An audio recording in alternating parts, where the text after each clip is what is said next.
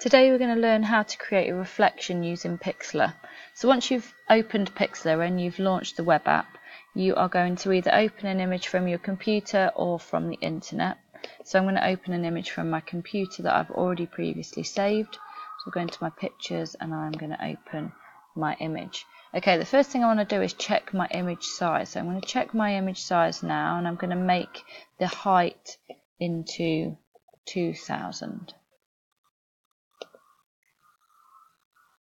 And then I'm going to zoom myself out. Right, when I've done that then I want to extend my canvas. So I'm going to unlock my background and I'm going to duplicate my layer.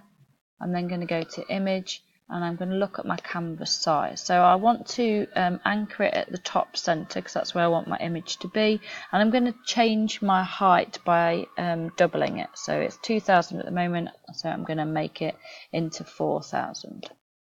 Okay, once I've done that, you'll see that I've got a, a blank bit on the bottom of my image. So that's where my reflection is going to be. So I'm just going to get myself a good view and pull it down like this. Okay, so making sure that I have a copy of my layer, um, which you'll notice on the sidebar here, I'm going to flip my image vertically. So we want to make sure that we're flip flipping just the image and we're not flipping the canvas. So we're going to go to layer and we're going to flip the layer vertically. Once we've flipped it vertically, we're going to get the move tool and we are going to move it down so that it is in position. So you'll notice now it's a mirror effect. Um, if you flip the canvas, it will actually um, be on the opposite side. Right, when we've done that then, we've already done the reflection, but now we want to change the um, reflection so that it is different to the top. So what we're going to do is we're going to add a layer mask here. So if you click on add layer mask and the layer mask that we're going to add is a gradient tool. So we're going to click on the gradient tool and we're going to click on gradient and we're going to go for a gradient here which you can see has the image and then changes into an opacity. So we're going to click on the um, layer here and then once we're happy that we've clicked on it we're going to press on the bottom bit and we are going to drag it downwards. Okay, so once we've done that, we will notice our image showing. Okay, so we've changed the opacity and we've made it look a bit more like a reflection.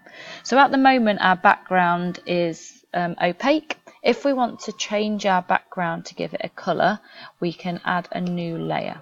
So once you've added your new layer, we're going to go to our paint bucket tool and I'm going to change my background layer to white.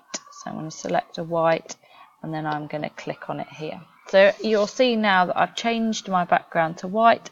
So I'm just going to make sure it is behind all of my work so that it's like this. So this is your reflected image. So you can either finish it here or you might want to play about a little bit more with your adjustments and your filters on this bottom one here. So it might be that I go to adjustments, I could make it into sepia, so I could change it that way.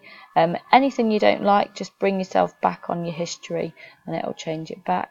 So I might go, I might make it look like an old photo. So you can play about until you're happy. Try not to change your adjustments too much. If you change it too much, it starts to look a little bit unrealistic. Okay, so once I'm happy, I'm then going to go to File, save and because I've finished I'm going to save it as a JPEG here and I'll name it um, reflection. Okay. Thank you for watching my tutorial and please keep an eye for my new ones on YouTube.